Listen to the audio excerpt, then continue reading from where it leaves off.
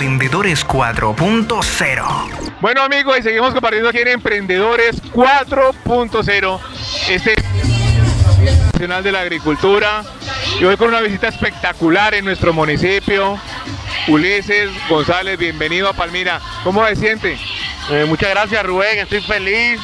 Es una experiencia increíble. Eh, no es la primera vez que vengo a Palmira, es una ciudad que me encanta, en la que siempre disfruto muchísimo. Y nada, ahora estoy trabajando, estoy haciendo una película por acá y, y estoy feliz, estoy muy contento. Así es, y te agradecemos por visitar nuestra región. Creo que ha sido un potencial gigante. Tienes de trabajar en el área del centro, Bogotá. ¿Cómo recibiste o cómo te recibió nuestro Valle del Cauca? Maravilloso. Estuve en Bogotá haciendo una película con Agora Films, una, una película norteamericana. eh, eh, mi segundo país, aquí nació mi madre, aquí tengo toda mi familia. eh, es maravilloso llegar a Colombia. Yo especialmente estoy muy agradecido porque el espacio para poder de creación, de vida, eh, de sociedad, para mí en estos momentos ha sido por los golpes de la vida y tú sabes, por las cosas personales, ha sido un regalo de Dios y, y de la vida realmente. Y bienvenido nuevamente. Creo que esta es su tierra, cubano, pero siempre lo abrazamos con ese cariño por la persona que es. Ulises, ¿cómo ve la cultura del Valle del Cauca? No, maravilloso. Ahora estamos viendo eh, todas las orquestas, los grupos, la gente, estas candidatas que están preciosas, que están ahí dando lo mejor de, de- de su alma para, para- para ganar, para triunfar. Es muy bonito, muy bonito, muy bonito lo que pasa aquí. Un mensaje, por favor, a los empresarios para que crean en la cultura, en el poder del talento humano vallecaucano.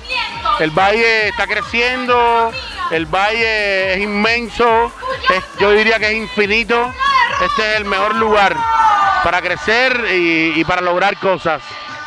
Así es, y lograr cosas muy importantes. Creo que Valle del Cauca hoy es muy importante a nivel de país. Tú desde afuera, ¿cómo lo ves? Así, maravilloso. Dos, uno, acción. Aleluya, aleluya. Yo estaba en La Habana. eh, Carlos me llama y me dice, tengo un personaje que eres tú, que, que tiene todas tus características. Y me dijo, tú, ¿cómo te llevas con los perros?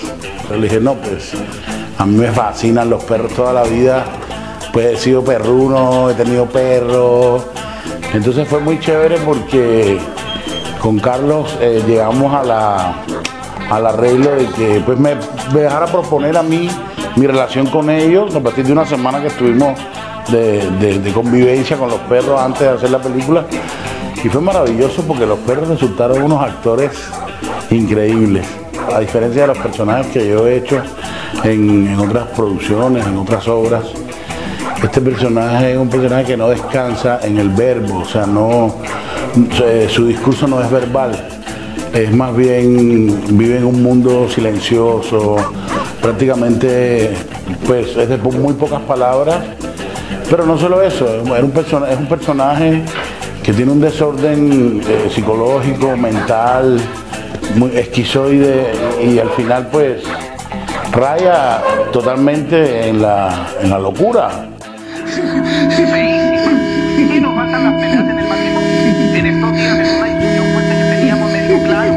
Yo antes de casarme,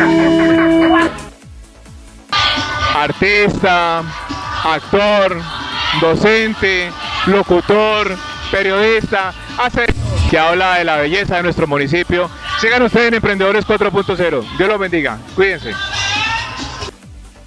Emprendedores 4.0.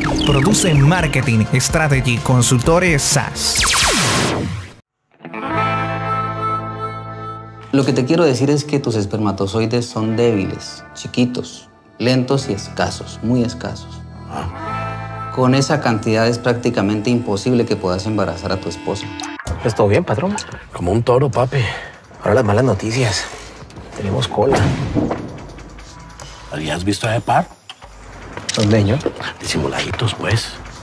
Yo creo que os podía entrar a esa casa, entrar en pelota de noche Quitamos la electricidad, no te pilla nadie. O si no te puedes reír porque la cagas. Entra y sale, entra y sale, entra y sale gente. Ahí está pasando algo.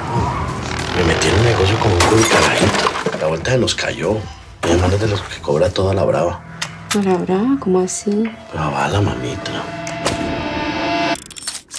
Dinero que soluciona problemas. Estoy dispuesto a resolver como sea. Perros en la jaula esperando la consulta. Esclavos del dinero mejorando la Te voy a decir una cosa.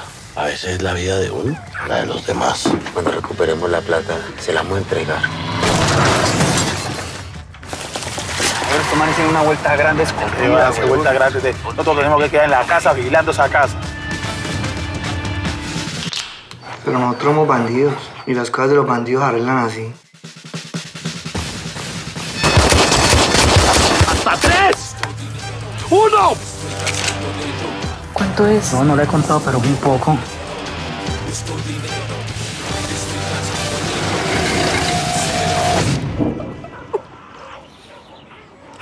Es tomate de árbol.